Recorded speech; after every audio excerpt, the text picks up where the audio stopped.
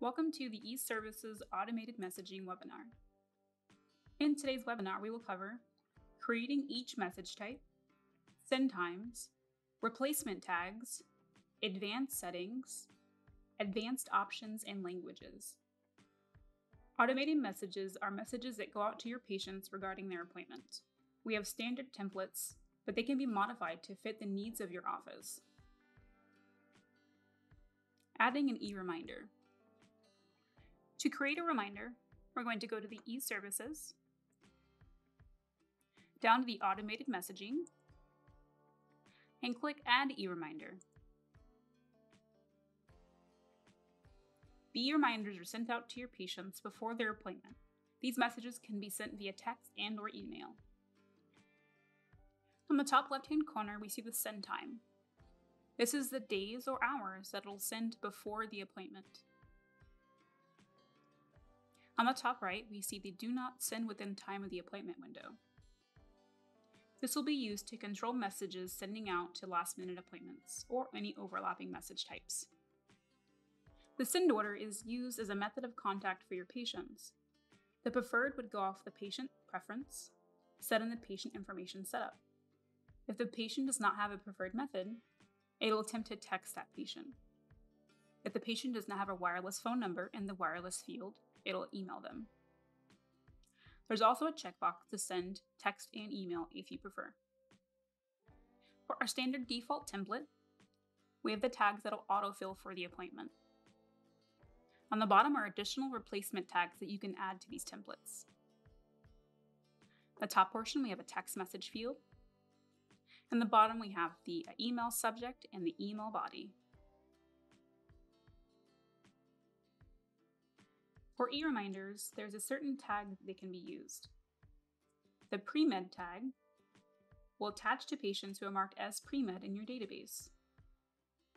The message will just remind them to take their medication before coming into the office. Adding e-confirmations. To add an e-confirmation, you'll go up to the e-services, automated messaging, and add e-confirmation. E-confirmations are sent out to your patients before their appointment. These messages can be sent via text and or email. The confirmation reminds your patients about their appointment, but also gives them the option to confirm their upcoming appointment. The top left-hand corner will have our send times before the appointment, either days or hours. We have the do not send within time of the appointment. This will be used to control messages sending out last minute or overlapping message types. The send order is used as a method of contact for your patients. We have the preferred confirm method. This is going to be marked in the patient information in the family module. We have the texting option. This will be sent via text message to patients who have a wireless phone number in the wireless field. There's also an email option. This will send to patients who do not have a confirm method or they don't have a wireless phone number inside the wireless phone number field. There's also an option to send text and email. For e-confirmations, we have auto replies, which I'll cover here in just a moment. We have a basic template, again, pulling tags from the database. At the bottom here, we have our replacement tags we can use for these messages. For the e-confirmation, it must include the confirm code. This is how your patients are going to be able to respond to this message type confirming their appointment. Towards the bottom, we have our email subject and our email body, which can be edited down here at the bottom. As mentioned before, we have the auto reply option. This will be under the advanced and the auto reply templates. Once the patient actually responds to your message via email or text message confirming their appointment, they'll get an automatic response thanking them for confirming their appointment. You can turn the auto replies off as it does consider itself an outgoing message.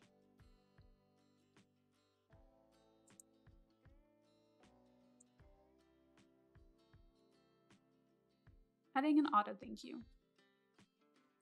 To add an auto thank you, you would go to the eServices tab, automated messaging, and add auto thank you. The auto thank yous are sent to your patients before their appointment. These can be sent via text and or email. The auto thank you sends out to patients who schedule in office or online, thanking them for scheduling with your office. In the top left-hand corner, we see our send times, within days or hours, after the appointment's actually scheduled in office. So once the patient schedules an office, it'll send them this message an hour after the appointment is scheduled. On the right hand side, there is a do not send within time of the appointment window.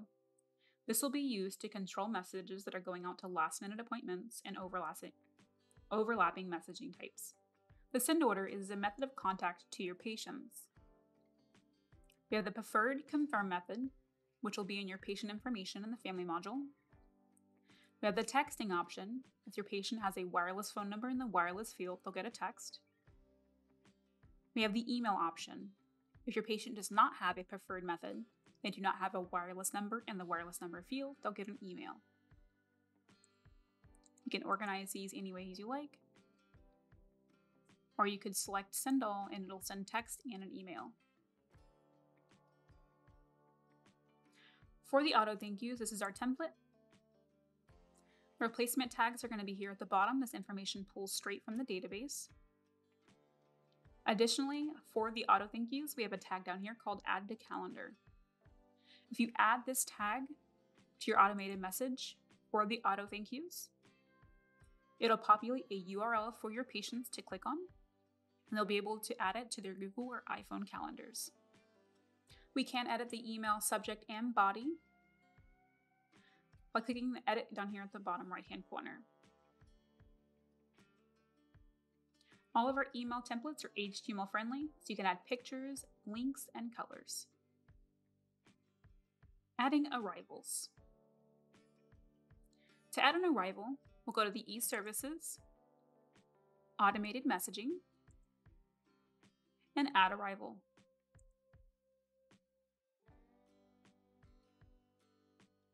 The arrivals are sent to your patients the same day of their appointment. This method is sent via text message only. The arrival will allow the patient to wait in their vehicles until the office is ready for them to come in. On the top left hand corner, we see our send time. This is how many hours or days it'll send before their appointment. On the top right hand corner, we have the do not send within time of the appointment window. This will be used to control messages sending out last minute or overlapping message types. For this message type, the only send order we have is text message. We have our default texting template with all of our tags, again, that'll pull from the database. For the arrival, it would need to include this arrived tag. There are additional tags here at the bottom. For arrivals, there is an auto reply that is sent out and can be modified in the Advanced tab. We have our arrival templates, which are back here. Once the patient actually responds to the message, we'll get a message saying, please remain outside. And whenever you're ready for them to come in, you will right click on their appointment. There's going to be an option at the bottom for the come in SMS message. It'll say your appointment is ready, please come in. You can turn this auto reply off as it is considered an outbound message. Adding patient portal invitations. To add a patient portal invitation, we're going to go to the e-services tab automated messaging. And we have two options. For the patient portal invitation, it can be sent before or after the patient appointment. Select Add Patient Portal Invitation. For the patient portal invitation, this is sent via email only. This will invite the patients to the online portal where it allows them to view any upcoming appointments, review saved treatment plans, and much more. On the top left hand corner, we see our send time. Again, we have the before appointment or after the appointment option, days or hours before or after. We have the do not send within time of the appointment window. This is used to control messages sending out last minute or any overlapping messaging types. For the patient portal invitation, again, email is the only option.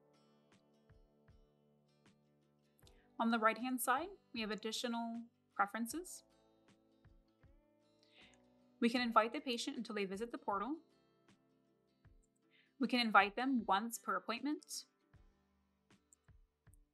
Or we can invite them once per appointment if the patient has not visited the portal in X amount of days.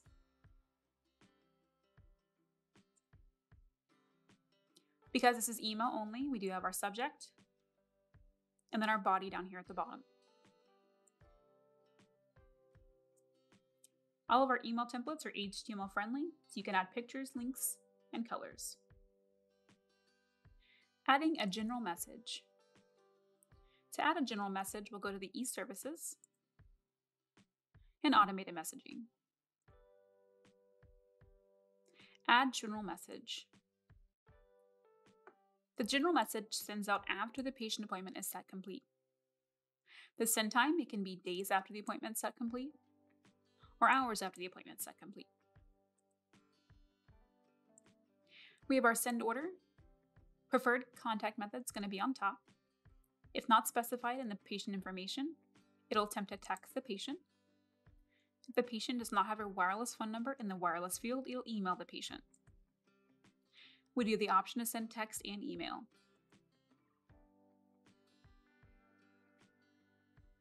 For the general message, this is our template.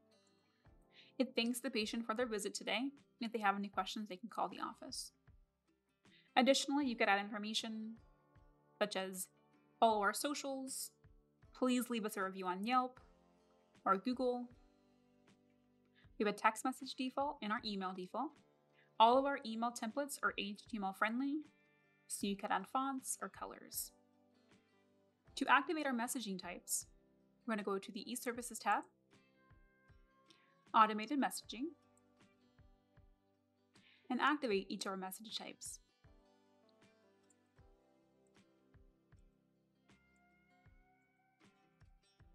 These will begin sending right away.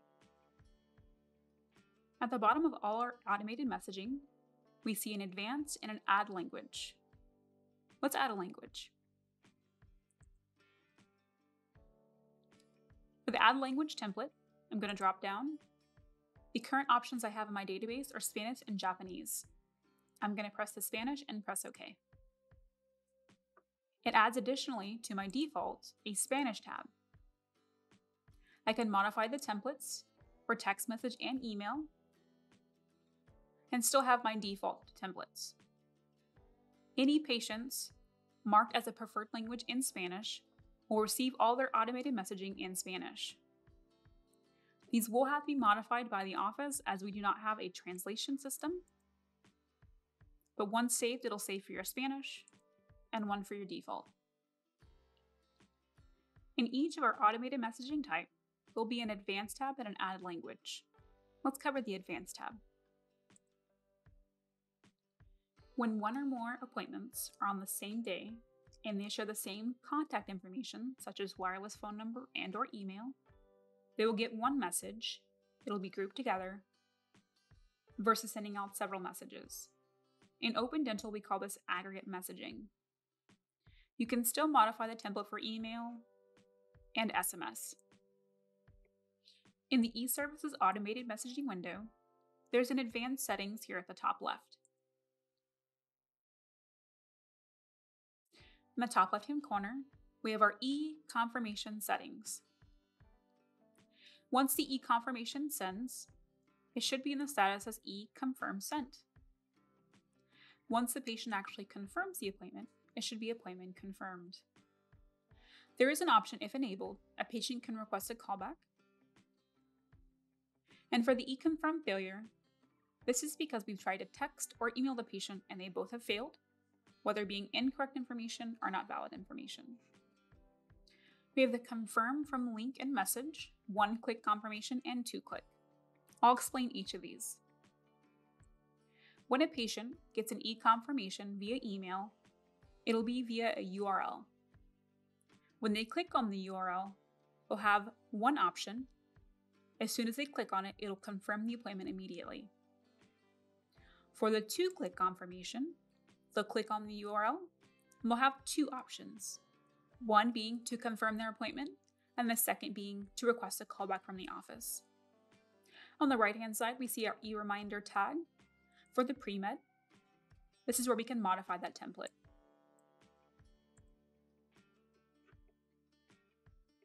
On the bottom portion, although it looks overwhelming, I'll explain.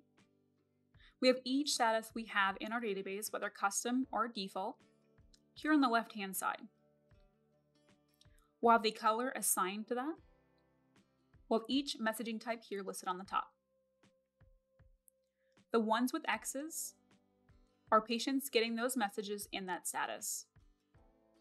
If there's a status that you do not want them to receive any automated messaging, simply come in here and uncheck the X's.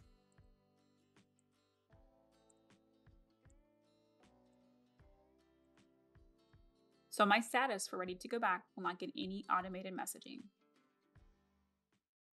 Thank you for joining us for today's webinar. If you have additional questions, please call our support line at 503 363 5432 or access our complete online manual at opendental.com. And to make sure you're staying up to date on our latest training videos, don't forget to subscribe to our channel and turn on notifications.